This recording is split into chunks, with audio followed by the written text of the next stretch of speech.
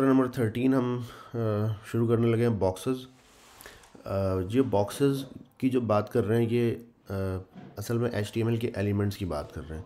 जैसा कि जब सीएसएस शुरू हुई थी तो शुरू में इन्होंने ये बताया था कि जितने भी एच के एलिमेंट्स होते हैं, वो सब के सब क्या होते हैं कि बॉक्स होते हैं एक्चुअली हर एलिमेंट अपने बॉक्स में पैक होता है. चाहे वो कोई इमेज हो, चाहे वो कोई टेक्स्ट हो या कोई पैराग्राफ हो, वो अल्टीमेटली एक बॉक्स होता है और जब तक हम किसी चीज़ को किसी बॉक्स में रैप नहीं कर देते हैं, हम उस पर स्टाइलिंग भी नहीं कर सकते हैं। जैसे ये एक वेबसाइट है हमारे पास तो इसमें इंस्पेक्ट हम करते हैं और ये सेलेक्ट एलिमेंट का बटन दबाते हैं और हम किसी भी एलिमेंट पे होवर करेंगे तो यहाँ पे आपको एक बॉक्स दिखेगा। बावजूद इसके कि ये बॉक्स राउंड दिख रहा है, ये जो इनपुट बॉक्स है, ये थोड़ा सा सर्कल सा दिख रहा है साइड से ठीक है? ये वाला भी थोड़ा सा राउंड दिख रहा है but actually is square box सही है? छोटे से छोटा या बड़े से बड़ा एलिमेंट जो भी कोई है आपके पेज पे दैट इज़ अ बॉक्स तो ये असल में इन बॉक्सेस की बात हो रही है, और इन बॉक्सेस को, अब इन बॉक्सेस को कैसे हैंडल करना है? यहाँ पे, मिसाल के तौर पे controlling the size of boxes कि अब ये वाले जो बॉक्सेस हैं, इनके साइज़ को हम कैसे कंट्रोल कर सकते हैं? इनकी विर्थ हाइट को हम कम ज़्यादा कैसे कर सकते हैं? अच्छा फिर box model for border margin and padding अब ये जो बॉक्स है ना, वो बनता किन चीज़ों से? और उस बॉक्स में ये बॉर्डर मार्जिन पैडिंग शामिल होते हैं तो इसका एक मॉडल है। तो वो क्या मॉडल होगा, वो भी हम डिस्कस कर रहे होंगे यहाँ पे। अच्छा डिस्प्लेइंग एंड हाइडिंग बॉक्सेस अगर किसी भी बॉक्स को आपने डिस्प्ले करना है या हाइड करना है तो वो हम कैसे कर सकते हैं? अगेन यहाँ पे जो बॉक्स यहाँ पे जो बॉक्स की बात हो रही है वो आ, किसी भी एचटीएमएल एलिमेंट की बात हो रही है। तो यहाँ पे जब ये कह रहे हैं कि डिस्प्लेइंग एंड हाइडिंग बॉक्सेस तो इसका मतलब ये नहीं कि किसी बॉक्स ये असल में किसी भी एचटीएमएल एलिमेंट पे ये बात अप्लाई होती है क्योंकि तमाम एलिमेंट ही बॉक्सेस हैं। अच्छा तो ये कह रहे हैं कि at the beginning of this section of C S S you saw how C S S treat such H T M L elements as if it lives in its own box के C S S H T M L elements को ऐसे treat करता है कि हर H T M L element अपने box के अंदर रहता है। ठीक है? You can set several properties that affect the appearance of these boxes in this chapter you will see how to control the dimension of boxes create border around boxes set margin and padding around the boxes show and hide boxes तो ये चार चीज़ें जो इसने दोबारा से बताया कि भाई ये हम पढ़ने लगे हैं। अच्छा ये एक चुन्नी मुन्नी सी इसने वेबसाइट बनाई है। आपने भी कोशिश करनी है कि ये chapter by the end of this chapter ये वेबसाइट, इस वेबसाइट को देख कर आप जस्ट खुद से ऐसी वेबसाइट बना लें। ठीक है? मतलब कोड भी इसने शेयर किया हुआ है लास्ट में, लेकिन बग़ैर कोड देखे इस तरह की एक वेबसाइट आप बना पाएँ, ऐसा टारगेट है इस चैप्टर का। अच्छा जी तो बॉक्स के डायमेंशन को हम कैसे चेंज करते हैं? बहुत ही आसान है। हाइट या विर्थ हम दे के उसको चेंज करते हैं। मिसाल के तौर पे एक डिव है जिसके ऊपर क्लास लगी हुई है बॉक्स तो आ, उस डिव को इसने क्या दे दिया? हाइट दे दिए थ्री हंड्रेड और विर्थ भी दे दिए थ्री हंड्रेड तो ये एक स्क्वायर बॉक्स की शक्ल इख्तियार कर गया और इसको एक अदर बैकग्राउंड कलर इसने दे दिया। ठीक है?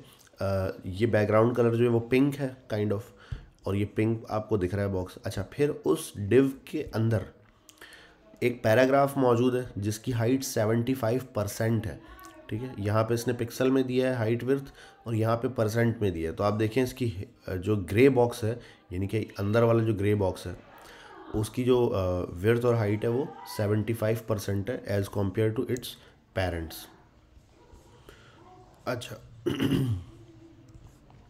अच्छा ये पिक्सल और परसेंटेज तो हमने देख लिया। हम ये ई एम डिस्कस कर चुके हैं ना ई एम क्या चीज़ होती है।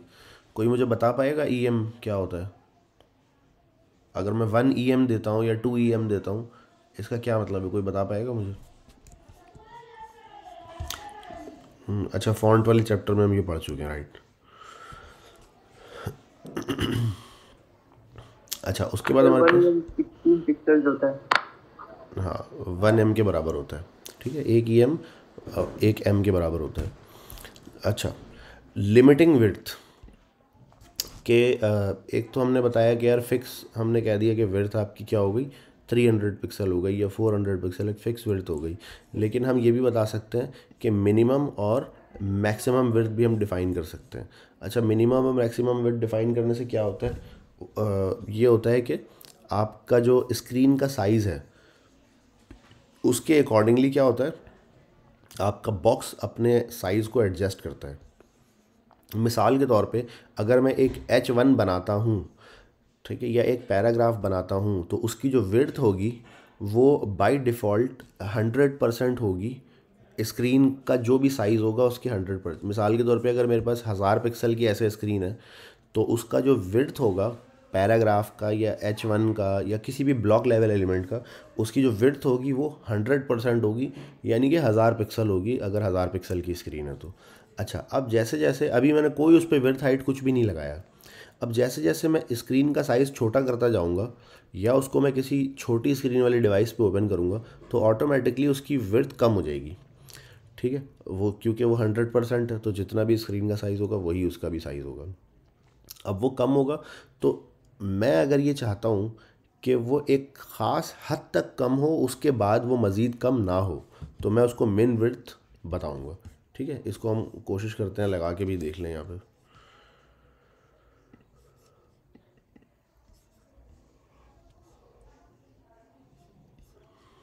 चलो एक नया बना लेते हैं इसमें बॉक्स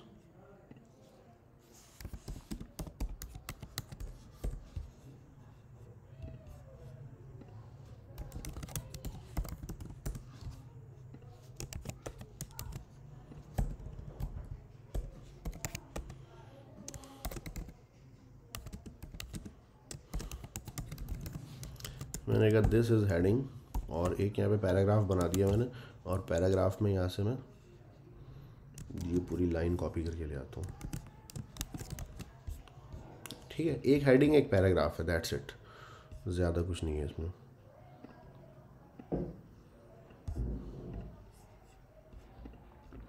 अच्छा और मैं क्या करता हूँ साथ साथ यहाँ पे स्टाइल का टैग लगा लेता हूँ। और मैं कहता हूँ कि एच वन पे कुछ लगाने लगाऊँ मैं विर्थ अभी लगा नहीं रहा। एच वन पर कुछ लगाऊँगा मैं और पैराग्राफ पे भी कुछ ना कुछ मैं लगाऊँगा। अच्छा इसको मैं लाइव करता हूँ ज़रा। अच्छा एच वन पर मैं बैकग्राउंड कलर दे देता हूँ ताकि पता चले कि कहाँ तक है ये एच वन सही है। बैकग्राउंड कलर ये वाला दे देते हैं इसको। ठीक है तो ये आपको दिखना शुरू हो गया है कि भाई बैकग्राउंड कलर ना, जहाँ तक इस एलिमेंट का साइज़ है, वहाँ तक बैकग्राउंड कलर ज़ाहिर है फील होगा आपको। इसी तरह मैं पैराग्राफ के ऊपर भी बैकग्राउंड कलर एक डिफ़ाइन कर देता हूँ। ठीक है तो ये दोनों आपको दिखना शुरू हो गए कि ये एलिमेंट कहाँ तक मौजूद है। अच्छा अब अगर मैं अपने स्क्रीन का साइज़ छोटा या बड़ा करूँगा, अगर मैं रिस्पॉन्सिव पे चला जाता हूँ और रिस्पॉन्सिव पे जाके मैं स्क्रीन का साइज़ छोटा बड़ा करूँगा तो मेरा एलिमेंट भी साथ साथ छोटा हो रहा है। और अगर पैराग्राफ के केस में आप देखें तो टेक्स्ट ना रैप होके नीचे भी आ रहा है। ठीक है? टेक्स्ट रैप होके नीचे भी आ रहा है। और एक पॉइंट ऐसा आएगा कि मेरा जो पूरा का पूरा टेक्स्ट है, वो सिंगल रो में हो जाएगा। और आप हेडिंग को देखें हेडिंग अपने बॉक्स से ओवरफ्लो हो जाएगी। क्योंकि अब हेडिंग का जो साइज़ है, वो इतना भी नहीं बचा है कि एक वर्ड को वो कंटेन कर सके। ठीक है heading is a long word तो इस वर्ड को वो कंटेन नहीं कर पा रहा है। अच्छा इसी तरीके से जब मैं इसको बड़ा करूँगा, ठीक है तो एक पॉइंट ऐसा आएगा कि मेरा पूरा का पूरा पैराग्राफ ना एक लाइन में हो चुका होगा। सही है? अरे भाई फोर के वाला क्यों नहीं आ रहा है इसमें?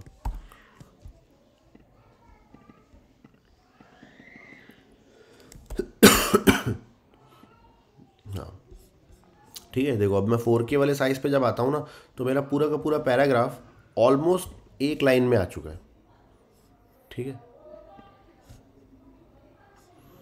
ये मैं फोर के पे हूँ और ये मैं लैपटॉप लार्ज पे आ जाता हूँ। तो लैपटॉप लार्ज जो है वो आम तौर स्क्रीन का साइज़ इतना होता है चौदह सौ चालीस। ठीक है? तो वेल अब मैं क्या चाहता हूँ? मैं ये चाहता हूँ कि जब जो है आ, मेरे जो पैराग्राफ का जो साइज़ है, वो मिनिमम एक हद तक छोटा हो, उससे ज़्यादा छोटा ना हो, ठीक है? जो बिल्कुल छोटा हो जाता है ना, ये नहीं हो, ठीक है? एक हद तक छोटा हो। अच्छा एक हद तक छोटा होने का मतलब क्या है कि मैं कहता हूँ, यार, मीडियम मोबाइल जो है ना, यहाँ पे जितना आता है ये, सही है? इससे ज़्यादा छोटा ना हो। इससे ज़्यादा अगर छोटा होता है तो स्क्रॉल आ जाए मेरे पास हॉरिजॉन्टल स्क्रॉल आ जाए। तो मैं यहाँ पे जाके इसको बता दूँगा कि भाई, पैराग्राफ की जो मिनिमम वर्थ है वो है चालीस ई एम सही है। यानी चालीस कैरेक्टर एक लाइन में आए मिनिमम उससे कम जाने की ज़रूरत नहीं है। सही है? तो चालीस कैरेक्टर जो हाँ।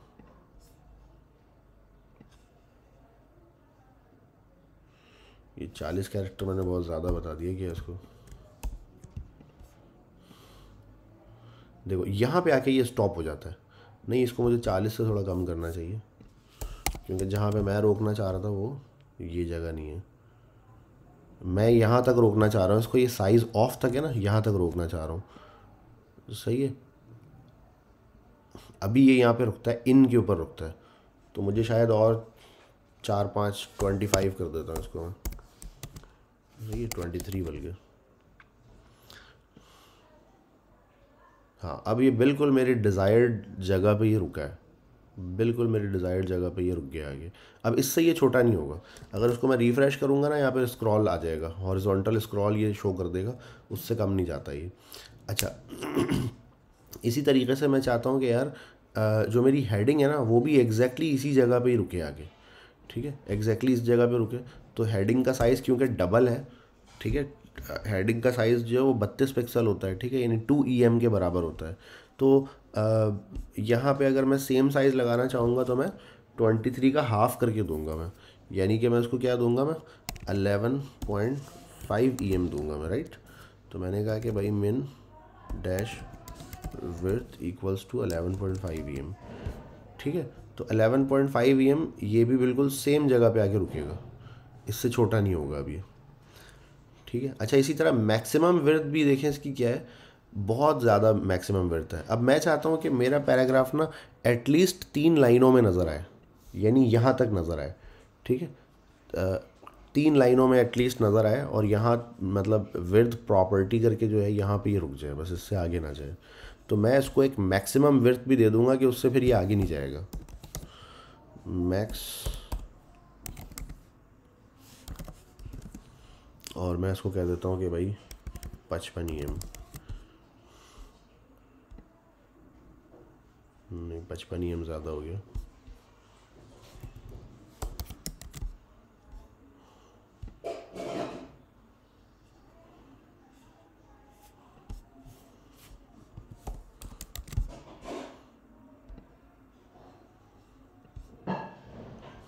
क्या इस पर मैक्सिमम वर्थ अप्लाई नहीं हो रहा क्या? अच्छा वो मैंने कॉलन नहीं लगाया। वो अप्लाई हो रहा ही नहीं है।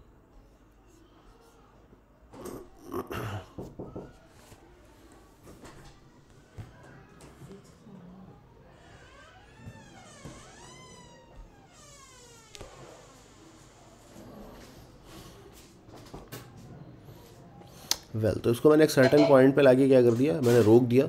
तो जब मेरा स्क्रीन का साइज़ अब बड़ा होता है ना, मैं अगर लैपटॉप लार्ज पे जाता हूँ या टैबलेट पे जाता हूँ तो ये मेरे पास पैराग्राफ एटलीस्ट ये मुझे बाई द तीन लाइन में चाहिए था। जो साइज़ ऑफ़ लिखा हुआ था, वहाँ तक चाहिए था मुझे। तो मैं इसको थोड़ा बढ़ा के अपने मर्ज़ी का कर लेता हूँ। चालीस ई से थोड़ा। यहाँ तक मुझे चाहिए था ये। ठीक है कि तीन लाइन में एटलीस्ट मेरा दिखे। तो ये एटलीस्ट फोर्टी सिक्स ई बनता है। ठीक है फोर्टी सिक्स ई एम बनता है मैं चाहता हूँ यार इससे ज़्यादा जो है ना मेरा पैराग्राफ का साइज़ बड़ा ना हो। सही है? क्योंकि इससे ज़्यादा अगर पैराग्राफ का साइज़ बड़ा होता है तो वो पैराग्राफ बिल्कुल एक लाइन में हो जाएगा, जो कि that is not good for me अच्छा मैं ऊपर वाले को भी मुझे इसके रेलिवेंट ही देना है कुछ ना कुछ, क्योंकि ऊपर वाले की जो मैक्सिमम साइज़ है उसका कोई लिमिट नहीं है। अगर मेरे स्क्रीन मतलब 2000 पिक्सल का भी हो जाए तो वो 2000 पिक्सल तक पहुँच जाएगा। तो मैं इसको भी क्या करता हूँ, एक मैक्सिमम वर्थ दे देता हूँ। अब मैक्सिमम वर्थ मैं क्या करूँगा, मुझे सेम इसके जितना देना है तो इसका हाफ़ करके दूँगा मैं। इसका हाफ़ करके मैं कैसे दूँगा? ट्वेंटी थ्री ई एम होगा ना फोर्टी सिक्स का जो हाफ़ है। ठीक है तो ये बिल्कुल एग्जैक्टली उसी जगह पे आके ये भी रुक जाता है। तो यहाँ पे ये मिनिमम हो गया, इससे छोटा नहीं होगा अभी और यहाँ पे ये मैक्सिमम हो गया। ठीक है जी तो मिनिमम मैक्सिमम विर्थ को हमने अच्छे से पढ़ लिया कि ये क्या होता है। ओके जी, अब हम आ जाते हैं अपनी बुक में दोबारा से। अच्छा सेम फिनोमिना जो है आपके पास वो हाइट में भी है। मिनिमम और मैक्सिमम हाइट हो सकती है। ठीक है। इसको मेरे ख्याल लगा के देखने की ज़रूरत नहीं है, ये तो देख चुके हैं हम। जो विर्थ में जो फिनोमिना है, सेम वही चीज़ हाइट में भी है, बट ये ज़ाहिर है वर्टिकली ये चीज़ कर रहा होगा। अच्छा उसके बाद है ओवरफ्लोइंग कंटेंट कंटेंट का ओवरफ्लो क्या होता है? जब भी कोई कंटेंट अपने बॉक्स से बाहर निकल जाता है, ठीक है? अगर कंटेंट मैंने बॉक्स का साइज़ छोटा किया हुआ है और कंटेंट का साइज़ बड़ा किया हुआ है, मिसाल के तौर पे अगर मैं यहाँ पे आके पैराग्राफ को बता दूँ कि भाई आपकी जो आ, मिसाल के तौर पर ये इतने पे आगे इतना इतने तक ही होता है ठीक है? अब मैं इसकी अगर हाइट को कम कर दूँगा ठीक है? मैं इस पर आता हूँ और इसकी हाइट को आके मैं कम कर दूँगा मज़ीद। इस पर हाइट वैसे अभी अप्लाई नहीं हुई हुई है। मैंने कहा हाइट आपकी ना 200 पिक्सल से ज़्यादा नहीं होनी चाहिए। यानी 200 पिक्सल तो वैसे ही बहुत ज़्यादा हो गए। इसकी हाइट मैं इतनी कम करता हूँ कि इसका कंटेंट उसमें ना आ सके ठीक है? ये हाइट मैंने इसकी कर दी। 85 पिक्सल हाइट कर दी। तो जैसे ही आप देखें अब यहाँ पे विर्थ जब इतना बड़ा होता है तब तो सही है लेकिन जब इसको मैं छोटा करता हूँ तो एक सर्टन पॉइंट पे आके क्या होता है इसका कंटेंट बॉक्स से थोड़ा सा बाहर आ जाता है। ठीक है ये मैंने बताने के लिए किया है आमतौर पर तो इसकी ज़रूरत इस तरह से नहीं कर रहे होते हम लेकिन ये मैंने आपको समझाने के लिए इसका साइज़ जानबूझ के थोड़ा छोटा किया है। तो आ, इसका जो कंटेंट बाहर आ रहा है इसके बॉक्स से, बल्कि इसको मैं यहाँ पे भी आगे हाइट 85 पिक्सल कर देता हूँ। सही है। तो अब ये इसको हम क्या कर सकते हैं? तो इसके लिए हमारे पास तीन स्ट्रैटेजीज़ होती हैं कि हमने क्या करना है। अच्छा नंबर एक हम करते हैं ओवरफ्लो हिडन कि भाई जितना पार्ट ओवरफ्लो हो गया ना, अपने बॉक्स से बाहर आ गया, उसको हाइड कर दो आप। ठीक है? दूसरा हम कर सकते हैं ओवरफ्लो स्क्रॉल स्क्रॉल से क्या होता है कि जैसे ही कंटेंट बाहर आने लगता है तो वो क्या करता है, वहाँ पे स्क्रॉल एक बना के दिखा देता है। अच्छा स्क्रॉल में भी हमारे पास दो स्ट्रैटेजीज़ होती हैं, ठीक है? एक स्क्रॉल एक्स है, एक स्क्रॉल वाई है। ठीक है? तो हम अभी लगा कर देखते हैं दोनों को कि क्या चक्कर है। अच्छा मैं यहाँ पर आता हूँ।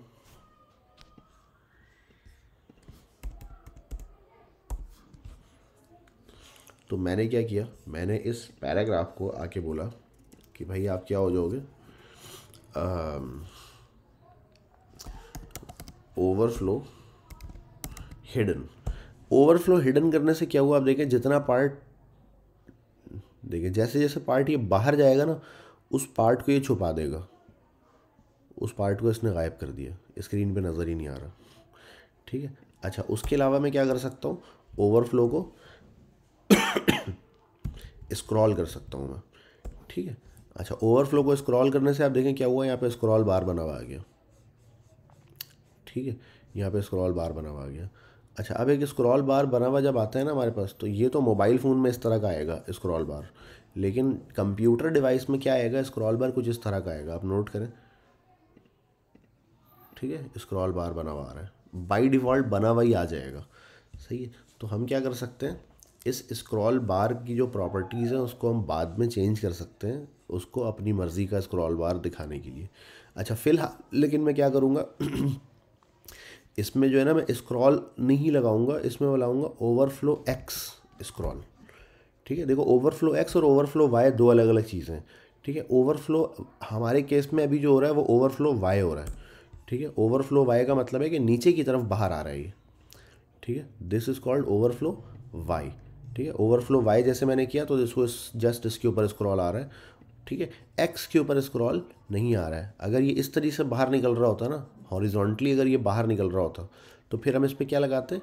ओवरफ्लो एक्स लगाते हैं। ठीक है? सम टाइम हम दोनों लगाते हैं। ओवरफ्लो एक्स भी लगाते हैं ओवरफ्लो वाई भी लगाते हैं। ठीक है?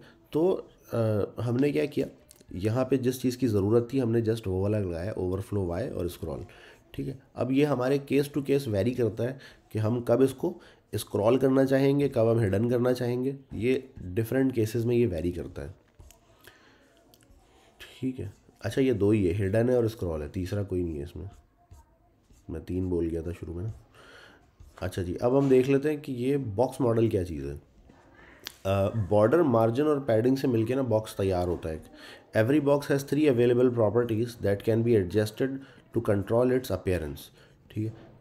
उसको अपेयरेंस को चेंज करने के लिए हमें इनको छेड़ना पड़ता है मोस्ट ऑफ़ द टाइम अच्छा सबसे पहले बॉर्डर होता है। Every box has a border even if it is not visible और its specified to zero pixel the border separate the edge of one box from another ठीक है? Border क्या करता है? बॉर्डर एज होता है किसी भी एलिमेंट का। ठीक है? मिसाल के तौर पे अगर मैं यहाँ पे आऊँ इस पैराग्राफ के ऊपर तो इस पैराग्राफ का जो मेरे पास बॉर्डर है, वो वो इस जगह पे कहीं पे लाए कर रहा होगा ना? ठीक है? इस जगह पे कहीं पे वो लाए कर रहा होगा। जो अच्छा ये, वो एज है। मिसाल के तौर पे इस पैराग्राफ का जो बैकग्राउंड कलर है, वो बैकग्राउंड कलर और ये वाइट कलर इसके ज़ाहिर इस कंटेन किया हुआ है उसने बॉर्डर ने, इस पैराग्राफ को।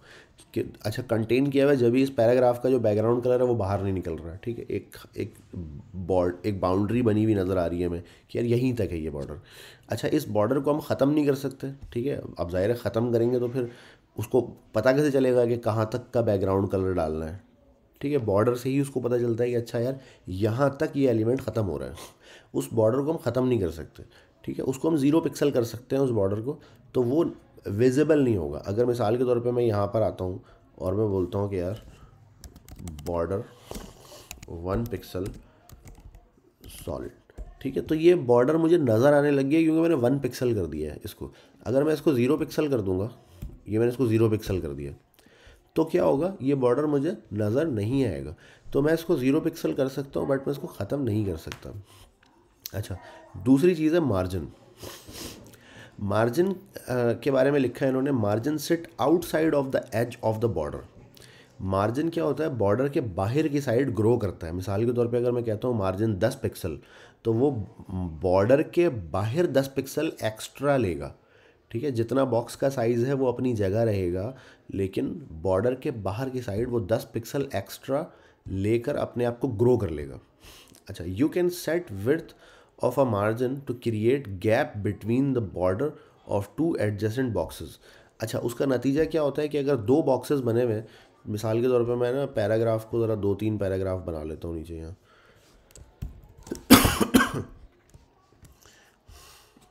अच्छा तो आप नोट करें पैराग्राफ पे बाय डिफ़ॉल्ट कुछ ना कुछ मार्जिन अप्लाई हुआ हुआ है। अगर मैं आपको दिखाऊँ, ये देख रहे हैं आप? ये जो हल्का सा यहाँ पे पिंक कलर का जो दिख रहा है ना दैट इज़ मार्जिन ठीक है? तो पैराग्राफ के ऊपर कुछ ना कुछ मार्जिन टॉप पे और बॉटम पे पहले से अप्लाई हुआ हुआ है। अच्छा अगर आपको इसको देखना होता है तो आप क्या करते हैं? कंप्यूटेड में जाते हैं, ठीक है? आप नोट करें 16 पिक्सल का जो मार्जिन नीचे और 16 पिक्सल का मार्जिन ऊपर जो है ना, इस पैराग्राफ पे पहले से लगा हुआ है, ठीक है? अगर मैं दूसरे पैराग्राफ पे जाऊँगा तो वहाँ पे भी ऐसा ही होगा, ठीक है? जितने भी पैराग्राफ यहाँ पे दिख रहे हैं हमें, सब पे ये 16 पिक्सल का मार्जिन टॉप पे और 16 पिक्सल का मार्जिन बॉटम पे लगा हुआ है। अच्छा इस मार्जिन को मैं कम या ज़्यादा ऑब्वियसली कर सकता हूँ। अच्छा अभी इसमें सिर्फ़ टॉप और बॉटम पे लगा हुआ है, साइड्स में नहीं लगा हुआ। तो अब मैं क्या करता हूँ कि यहाँ पर कुछ स्पैन भी बना लेता हूँ। या बल्कि मैं डिव बना देता हूँ ना, दो अदद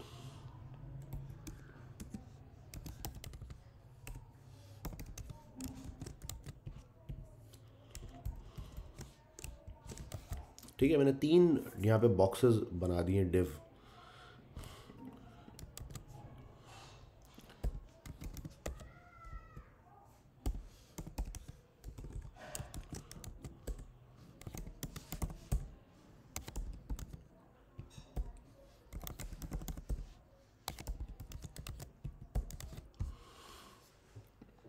बैकग्राउंड कलर नहीं दिया मैंने उसको, इसलिए नज़र नहीं आ रहा हूँ।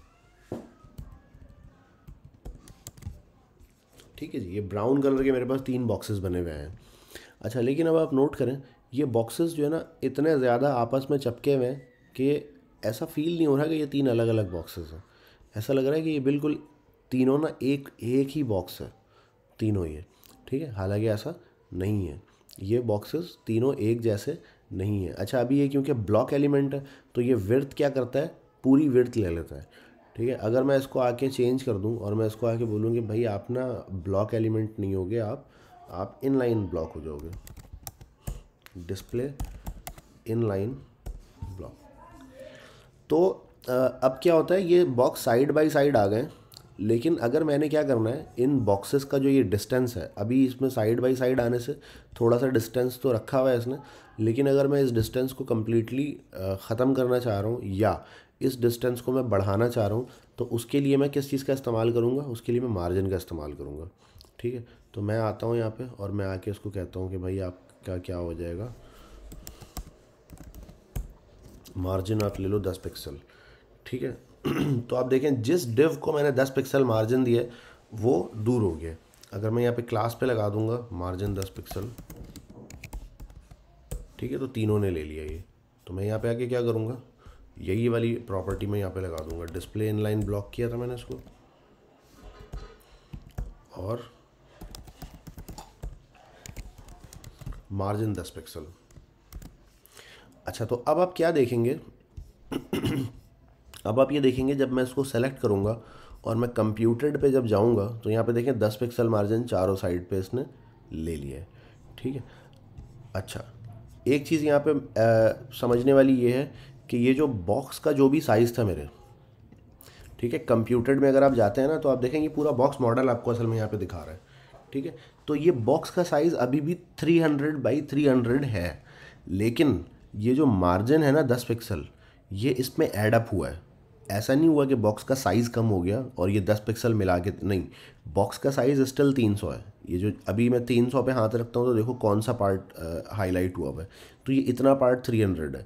ये 10 पिक्सल एक्स्ट्रा है जो मैंने मार्जिन के तौर पे इसमें ऐड किया है। तो ये ओवरऑल बॉक्स का जो साइज़ है, अगर मैं मार्जिन के साथ इसको काउंट करूँ तो इस कोने से लेके इस कोने तक ये 320 पिक्सल है। सही है? क्योंकि 10 पिक्सल का मार्जिन इधर है और 10 पिक्सल का मार्जिन इधर है। और बीच वाला जो बॉक्स है, वो 300 पिक्सल का है। तो ये 320 पिक्सल इसकी हाइट इस वक्त और विर्थ दोनों, क्योंकि हाइट और विर्थ दोनों पे ही लगा हुआ है मार्जिन, चारों साइड। है तो इसकी हाइट भी 320 हो चुकी है और इसकी विर्थ भी 320 हो चुकी है। ठीक है तो आ, ये मार्जिन था भाई दो बॉक्सेस को आपस में कितना दूर रखना है या दो एलिमेंट्स को आपस में कितना दूर रखना है वो इससे हम डिसाइड कर रहे होते हैं।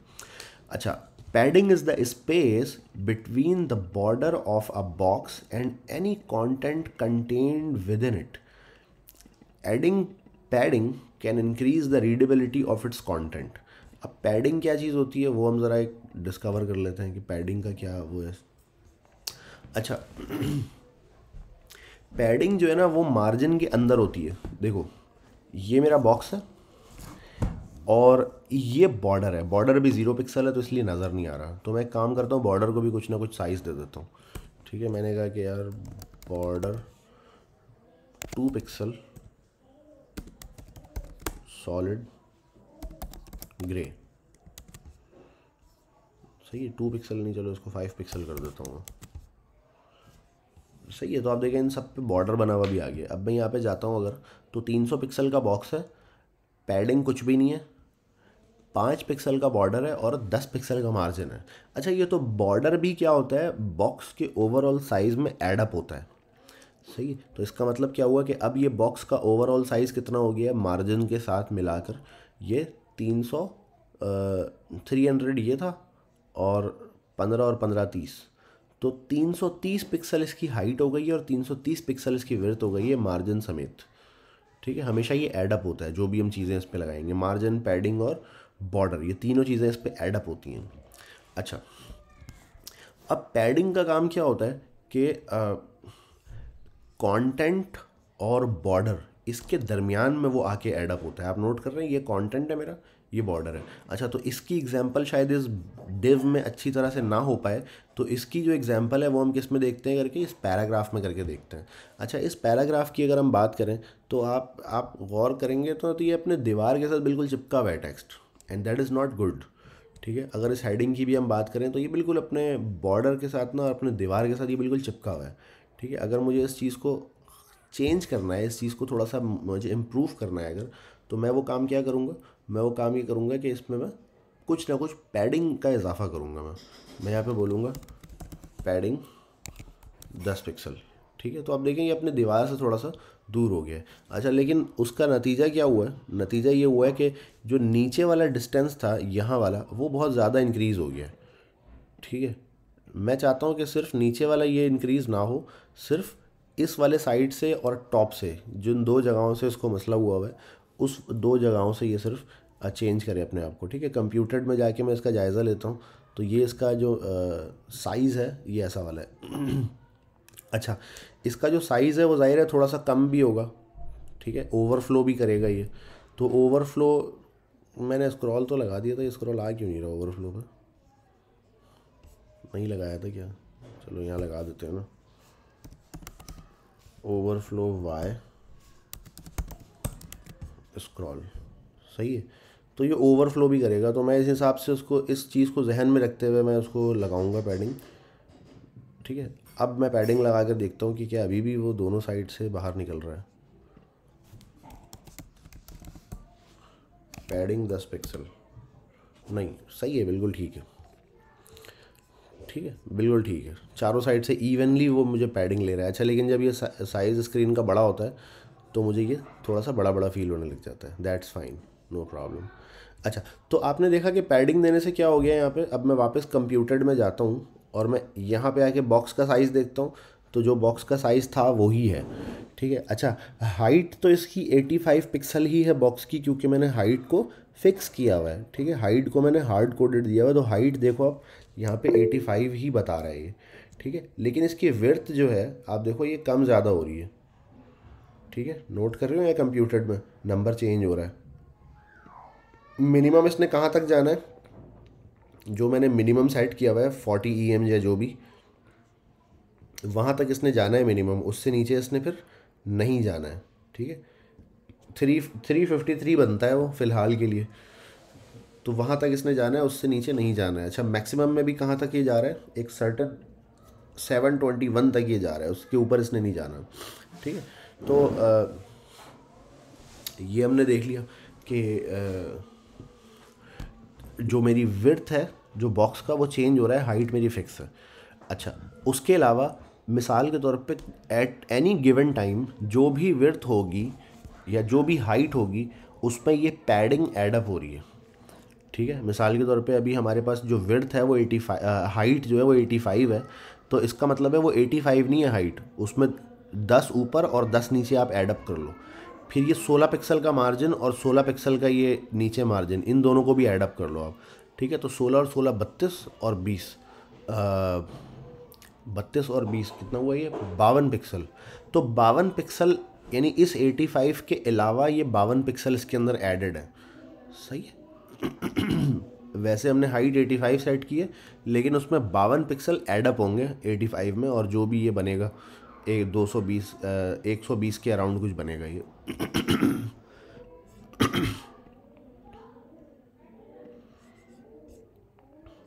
अच्छा भाई। जी, अहमद सिद्दीकी, हैंड रेस किया हुआ आपने।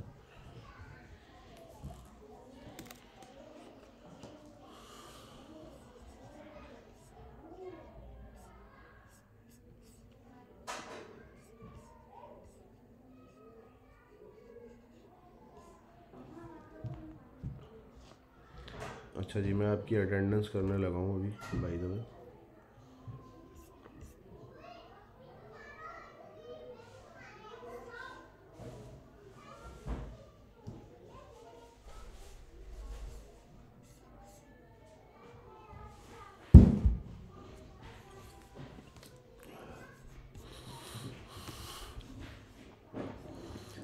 अच्छा जी।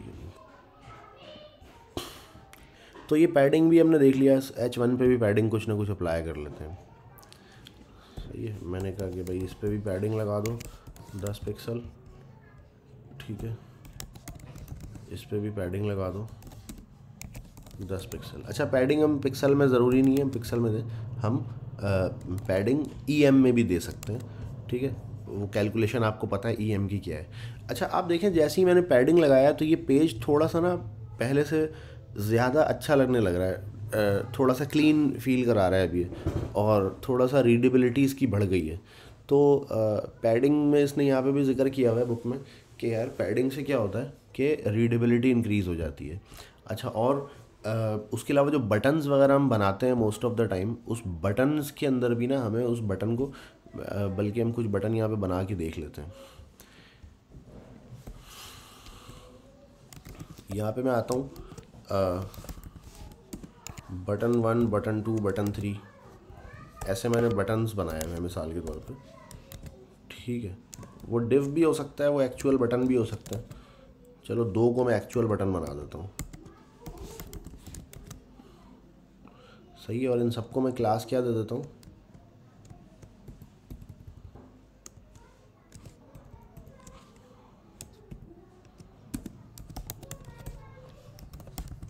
क्लास मैंने इन सबको दे दी बटन अच्छा अब मैं यहाँ पे आकर देखूँगा तो अभी तो यहाँ पे कुछ बटन जैसा मुझे दिख रहा नहीं है। ये बटन दो ही क्यों दिख रहे हैं मुझे?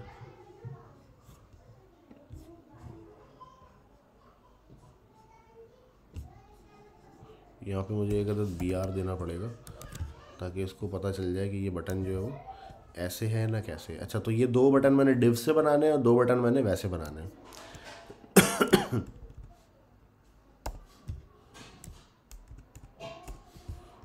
सही है तो इन बटन्स को ज़रा हम देखते हैं कि अभी क्या करना है।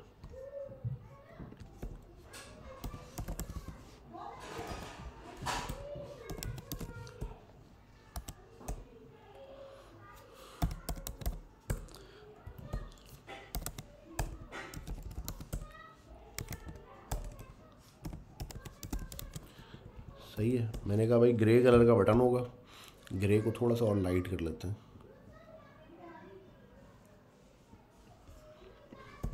ठीक है जी, और बॉर्डर रेडियस इसका जो हम सेट कर लेते हैं टेन परसेंट ठीक है अच्छा ये जो डिव है, इसकी इसकी विर्थ बहुत ज़्यादा है तो इसको मुझे क्या करना पड़ेगा? डिस्प्ले इनलाइन ब्लॉक करना पड़ेगा, ठीक है? ताकि ये सब ना एक जैसे हो जाए। अच्छा तो अब ये देखें, दो मैंने डिव के साथ बना दिया है बटन और दो मैंने एक्चुअल बटन के साथ बना दिया है बटन। अच्छा इस पे जो बॉर्डर रेडियस है मुझे पिक्सल में देना होगा। सही है परसेंटेज में वो थोड़ा सा गड़बड़ हो रही थी। अच्छा अब आप देखें, चक्कर क्या हुआ हुआ है यहाँ पे? कि ये बटन बन तो गया है मेरे पास बट ये बटन जो है, वो अपने बॉर्डर के साथ बहुत ज़्यादा चपका हुआ है इसका जो टेक्स्ट है। ठीक है? तो इसमें मुझे बहुत ही सिंपल एक आंसर है इसका कि इसमें मुझे क्या देना है। इसमें मुझे कुछ ना कुछ पैडिंग इसको प्रोवाइड करनी है। कुछ ना कुछ पैडिंग जैसे ही मैं इसको प्रोवाइड करूँगा तो ये आपको अचानक से बिल्कुल बेहतरीन दिखने लग जाएगा। ठीक है? हाँ भाई अब ये मोर अब ये बेहतर लग रहा है और बटन जैसा फील करा रहा है अब ये। तो मैंने इसको क्या दे दिया सेवन पिक्सल का इसको मैंने, या सिक्स पिक्सल का इसको पैडिंग प्रोवाइड कर दी है। ठीक है? यहाँ पे मैं आता हूँ, मैं कहता हूँ पैडिंग सिक्स पिक्सल ठीक हो गया जी। अच्छा उसके अलावा अगर मुझे इसको आपस में दूर करना है, इन बटन्स को मुझे आपस में दूर करना है तो मैं क्या करूँगा? इन बटन्स को मैं मार्जिन दूँगा। ठीक है? मार्जिन और मैंने कहा टेन पिक्सल ठीक है तो ये आपस में दूर हो गए। अच्छा स्टिल मुझे आपस में दूर करना है, सिर्फ़ इसको हॉरिजॉन्टली करना है अगर, ठीक है? तो फिर मैं क्या करूँगा, फिर मैं चार साइड के मार्जिन होते हैं, वो मैं अलग अलग भी दे सकता हूँ। ठीक है, अभी वो आगे आ भी जाएगा कि चारों साइड का मार्जिन अलग अलग दे सकता हूँ मैं। तो मैंने कहा कि यार अच्छा ये क्लॉकवाइज होता है, जो सबसे पहला मार्जिन दूँगा मैं, वो टॉप का होगा। तो मैंने कहा zero pixel top top zero pixel होगा। ठीक है, फिर उसके बाद जो राइट होगा, मैंने कहा कि भाई आप दस पिक्सल ले लो। ठीक है, बल्कि दस पिक्सल नहीं, बस पाँच पिक्सल लेते हैं। सही है, पाँच पिक्सल उसके बाद बॉटम को मैंने कहा ज़ीरो पिक्सल हो जाए, और उसके बाद मैंने कहा लेफ़्ट जो है वो भी पाँच पिक्सल हो जाए। ठीक है जी। तो अब आप देखेंगे कि जब मैं इसको कंप्यूटर पे लेकर जाऊँगा तो सिर्फ़ दो साइड पे मार्जिन लगा है इसके लेफ़्ट पे और राइट पे। ठीक है? देखिए टॉप और बॉटम पे ना कोई मार्जिन नहीं लगा हुआ। यहाँ पे फाइव है, यहाँ पे फाइव है। टॉप पे कुछ भी नहीं है बॉटम पे कुछ भी नहीं है। और इस पर जब मैं हवर करूँगा तो भी आपको यही चीज़ देखने को मिलेगी कि सिर्फ़ दोनों साइडों पे मार्जिन लगा हुआ है टॉप पे बॉटम पे कुछ भी नहीं लगा हुआ।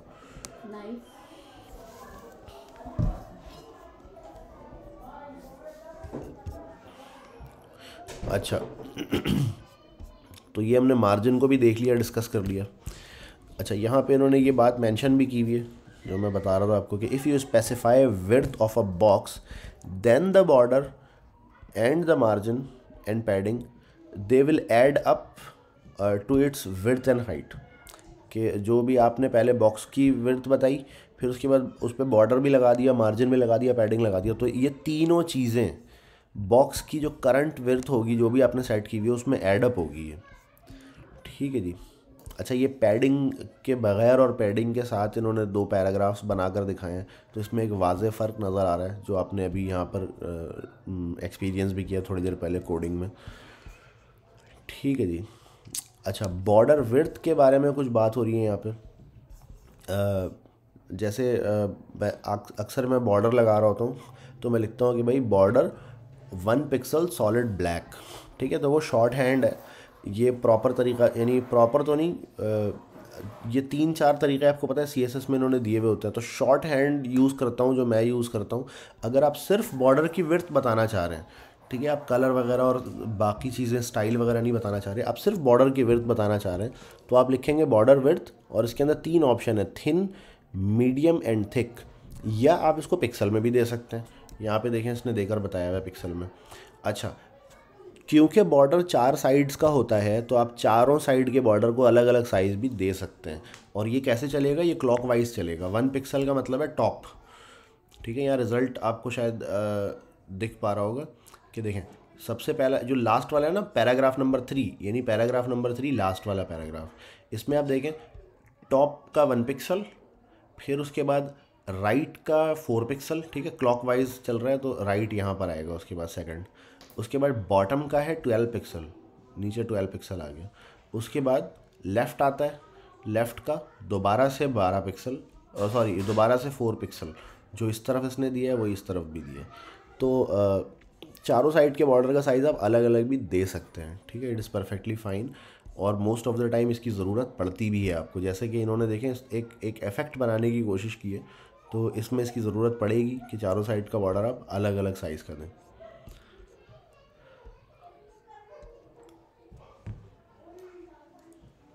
अच्छा बॉर्डर का जैसे ही आप साइज़ बताएँगे तो बॉर्डर विजिबल हो जाएगा बट उस बॉर्डर का स्टाइल क्या होगा? क्या वो सॉलिड होगा? ठीक है सॉलिड का मतलब है वो सीधी लाइन होगी कोई उसमें बीच में आ, कोई वेरिएशन नहीं होगी। या वो डॉटेड होगा ठीक है डॉट डॉट करके वो बॉर्डर बना रहा होगा या डैश्ड होगा ठीक है डैश डैश करके बॉर्डर बन रहा होगा। डबल लाइन हो सकती है ग्रूव हो सकता है ठीक है इन सेट आउट सेट ये सब हो सकता है। ठीक है इन सेट का मतलब होता है कि थोड़ा अंदर धसा हुआ फील होगा, या आउट सेट का मतलब होता है कि थोड़ा बाहर निकला हुआ फील होगा आपको ये।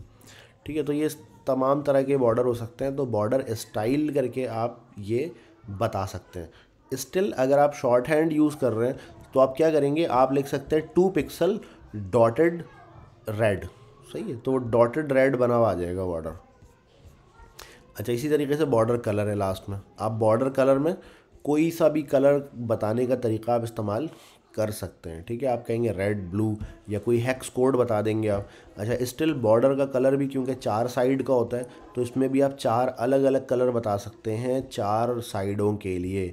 सबसे पहला वाला क्या होगा? सबसे पहला वाला टॉप होगा, ठीक है? जो सेकंड है वो राइट होगा। फिर उसके बाद जो है वो बॉटम होगा, फिर उसके बाद जो है वो लेफ़्ट होगा। ठीक है तो एक क्लॉक वाइज चलता है ये तो इसको हमेशा क्लॉक वाइज करके याद रखें तो आपको बहुत आसानी से ये याद रहेगा। अच्छा एक तो ये चारों साइड का अलग अलग आप ऐसे बता सकते हैं, अगर चाहें तो इसकी प्रॉपर्टी भी अलग अलग है चारों साइड की, कि भाई border top colour border right colour border bottom colour ठीक है, ऐसे भी बता सकते हैं आप। तो जस्ट अगर आपने बॉर्डर का कलर बताना है तो आप वो ऐसे करके बता सकते हैं। अच्छा भाई लास्ट में इसने शॉर्ट हैंड बता दिया बॉर्डर का। ठीक है भाई, कि थ्री पिक्सल डॉटेड और रेड या वन पिक्सल सॉलिड ब्लैक ऐसे करके आप शॉर्ट हैंड भी लिख सकते हैं अगर आप सिंपल बॉर्डर कोई लगाना चाह रहे हैं तो। और ज़्यादा कॉम्प्लिकेटेड चीज़ कोई नहीं है तो। ठीक है जी। अच्छा पैडिंग हमने लगाना देख ली है कि पैडिंग कैसे लगती है। ठीक है? बगैर पैडिंग के पैराग्राफ पैडिंग के साथ पैराग्राफ पैडिंग भी चारों साइड की अलग अलग आप लगा सकते हैं, ठीक है? चारों साइड की अलग अलग पैडिंग लगाने के लिए या तो चार नंबर दे देंगे ना, हाथ के हाथ सीधे सीधे या तो चार अलग अलग प्रॉपर्टी भी मैं इस्तेमाल कर सकता हूँ। मैं कहूँगा पैडिंग टॉप तो सिर्फ़ टॉप पे अप्लाई होगा, कहीं और पे भी नहीं होगा वो, ठीक है? मार्जिन भी इसी तरह हम देख सकते हैं, चार साइड मार्जिन होता है, चारों साइड का मार्जिन अलग अलग दे सकते हैं हम, ठीक है? यहाँ पे इन्होंने 20 पिक्सल लिखा है तो चारों साइड 20-20 पिक्सल लेगा ये तो एक पहला पैराग्राफ है बग़ैर मार्जिन के, दूसरा है मार्जिन के साथ। तो आप देखें ये साइड से थोड़ा ग्रो हो गया है तो इस वजह से थोड़ा सा ये राइट पे होके नज़र आ रहा है मुझे। अच्छा जी, सेंटरिंग कंटेंट कंटेंट को सेंटर कैसे किया जाए? तो ये जो तरीका है ना, ये थोड़ा सा पुराना हो गया सेंटर करने के लिए। स्टिल ये काम करेगा मतलब इसने क्या किया हुआ है, मार्जिन को एक तरफ़ से टेन पिक्सल किया दूसरी तरफ़ से ऑटो कर दिया। ठीक है? आ, मतलब कि लेफ़्ट और राइट से मार्जिन को ऑटो किया है तो वो सेंटर में हो गया। वो जो भी एलिमेंट था वो सेंटर में हो गया। ठीक है? तो आ, लेकिन ये वाला तरीका थोड़ा सा आउट ऑफ़ डेट हो गया। ऐसा नहीं है कि ये काम नहीं करेगा ये काम करेगा बिल्कुल। लेकिन ये वाला काम अब हम करते हैं फ्लैक्स बॉक्स के ज़रिए। ठीक है? फ्लैक्स बॉक्स जो है वो एक जदीद अप्रोच है वो इन हम पढ़ेंगे। फ़ौर बाद ही पढ़ेंगे इस चैप्टर के हम। अच्छा आई इंटरनेट एक्सप्लोरर सिक्स का बॉक्स मॉडल क्या है? ठीक है तो ये हमें लिखा हुआ है इन्होंने, बस इंटरनेट एक्सप्लोरर सिक्स तो खैर बहुत ही पुराना हो गया तो उसको हम स्किप करते हैं। कभी भी अगर ज़रूरत पड़ जाए इस इंटरनेट एक्सप्लोरर सिक्स की तो यहाँ पे लिखा हुआ है, आके देख लेना। अच्छा change display inline or block कोई भी इन लाइन एलिमेंट हो, उसको मैं सी एस एस के ज़रिए ब्लॉक एलिमेंट बना सकता हूँ। ठीक है अच्छा इसी तरह से कोई भी अगर इन लाइन एलिमेंट है, उसको मैं ब्लॉक बना सकता हूँ तो ब्लॉक को मैं इन लाइन बना सकता हूँ, ठीक है? दोनों वाइस वर्सा है। अच्छा लेकिन आमतौर पे हम क्या करते हैं, अगर किसी ब्लॉक एलिमेंट को हम इन लाइन बनाते हैं तो हम लिखते हैं इनलाइन ब्लॉक अच्छा इनलाइन ब्लॉक क्या करता है? इनलाइन ब्लॉक ये करता है कि जस्ट वो जो उसकी एक वो है ना कि भाई मेरी लाइन में कोई और नहीं आएगा और मैं किसी की लाइन में, वो चीज़ ख़त्म कर देता है, ठीक है? उसके अलावा ब्लॉक लेवल की कुछ और भी प्रॉपर्टीज़ होती हैं, उसको वो कैरी करके रखता है, उसको वो ख़त्म नहीं करता है, ठीक है? तो हम कभी भी उसको इन लाइन बिल्कुल नहीं बनाते, हम इन लाइन ब्लॉक बनाते हैं आमतौर पर। अच्छा और हम नन भी कर सकते हैं। नन करने से क्या होगा, वो डिस्प्ले नन से वो आइटम ही गायब हो जाएगा स्क्रीन पर वो नज़र ही नहीं आएगा, ठीक है? अच्छा इसी तरीके से हम आ सकते हैं विजिबिलिटी करके एक प्रॉपर्टी है। विजिबिलिटी में क्या होता है? दो ही वैल्यू होंगी हिडन होगा या विजिबल होगा। बाय डिफ़ॉल्ट विजिबल होता है, हर एलिमेंट पे जब भी वो नज़र आ रहा होता है।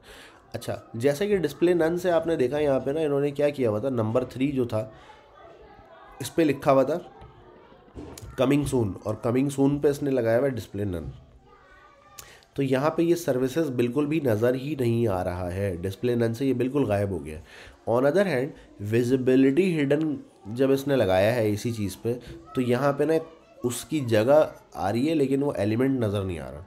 एलिमेंट ने लेकिन जगह यहाँ पर ली हुई है। तो ये है डिफरेंस आपका डिस्प्ले नन में और विजिबिलिटी हिडन में। ठीक है? इन दोनों की ज़रूरत आपको पड़ती है, और दोनों की ज़रूरत पड़ने पे आप क्या करते हैं? दोनों को अकॉर्डिंगली इस्तेमाल कर रहे होते हैं। ठीक है? ऐसा नहीं है कि ऐसा कोई रूल ऑफ़ थम नहीं है कि नहीं, हमेशा आपने ये हिडन ही लगाना है। कभी भी नन या हमेशा नन लगा, ऐसा कोई रूल नहीं है। केस टू केस वेरी करेगा। जहाँ पे आपको इस हिडन की ज़रूरत होगी, वहाँ पे आपने हिडन लगाना है। ठीक है?